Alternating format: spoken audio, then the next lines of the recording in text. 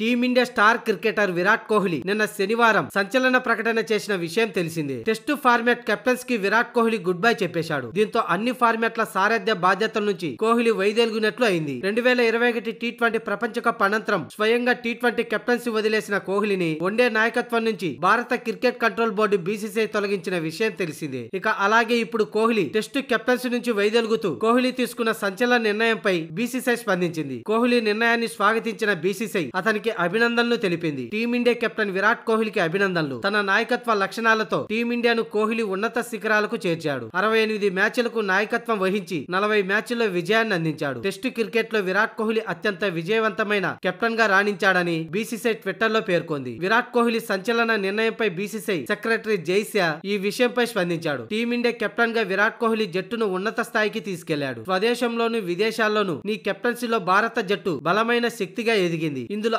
Australia ఇంగ్లాండ్లో నీ సారథ్యంలో సాధించిన విజయాలు ఎంతో ప్రత్యేకం. అవి ఎప్పటికీ మరువలేనివి. కోహ్లీకి అభినందనలని జైసే తన ట్వీట్లో పేర్కొన్నాడు.